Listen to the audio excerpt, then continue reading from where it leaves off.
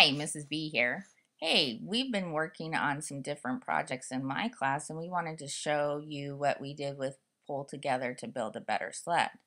First, we got the lesson from this year 2013's teacher on the trail, Linda Fenton, and she created this lesson. We used one small paper plate, three by three piece of tinfoil, two straws, four rubber bands, and one paper clip and with those supplies, the students in my class had to design a sled that we could try out. And so here's some of the approaches we used. And Jerry, explain to me your plan here. Um, we're both creating our own type of sled, putting it together, combining it together, and seeing what we get. All right, so I see you're both drawing different diagrams on your paper, and then you're going to put those diagrams together to see if they, so to make one sled. Nice idea. Cool. Thank you. Because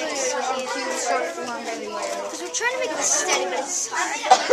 like not actually flying, like you know. Yeah.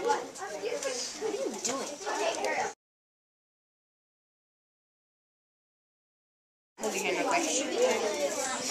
It doesn't need to be held down right now. Now we just need explosive. This is actually turning out good. Yeah,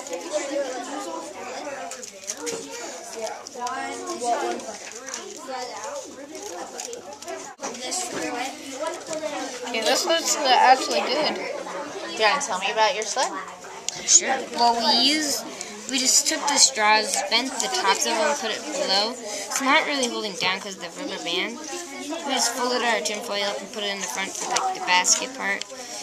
The edges keep popping up, so we're just trying to fix that. That's about all we're doing right How now. are you, what do you think? How are you going to try to figure out how to fix that? Maybe take off a few rubber bands. We, hmm. Do we have to use all the we used our paper bands? clip to hold the tinfoil down. Do we need to use all the rubber bands? I don't think so.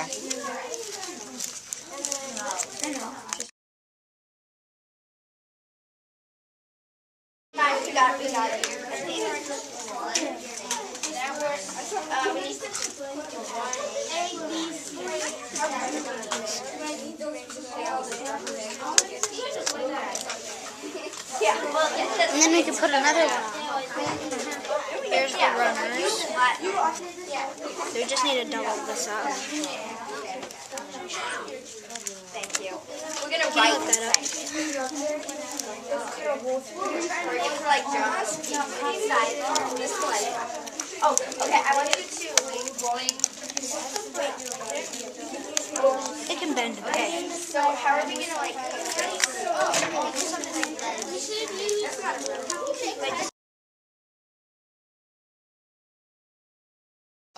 tell us about your sled. Well, our sled we used for our we made our tinfoil into a basket for our Unifix cubes. Then we hol- held the tinfoil on with a paper clip in the front, and we strapped it to our two straws, which are the skis. Um, our sled, we put tinfoil on the bottom, and we have a little protection thing right there, so the cube won't fall out. Get set, go. Our sled was designed for speed. It has a little sleep out for the two Unifix cubes, which has a basket to hold them in, and literally the straws are to catch eh, to catch air. We made this little person and we made a little thing for like anything that gets hurt and also for the Unifix cubes. Then we made the straws like on the bottom so it might go fast because the straws are slippery. Okay, get it ready, Caleb. Okay, ready? On your marks, get set, go. We put little, uh, we got our paper plate and we folded it up. Then we got our uh, paper clip and stabbed some holes. So Trent, and then Trent tied up, tied some rubber bands to keep it tight.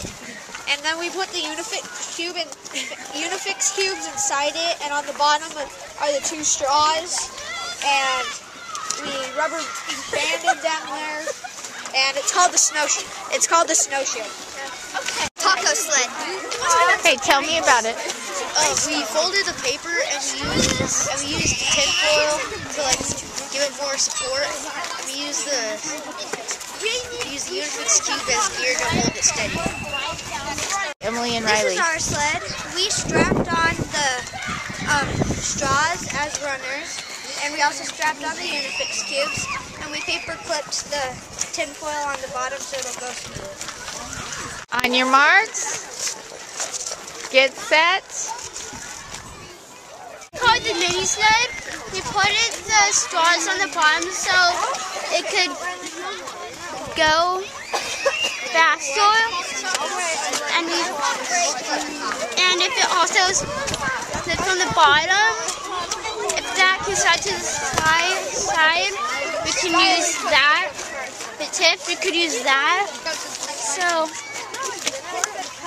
is like a taco because a taco because my dad likes tacos.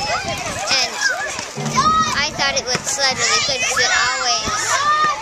Okay, let's give it a go. Careful. Uh-huh, try it again.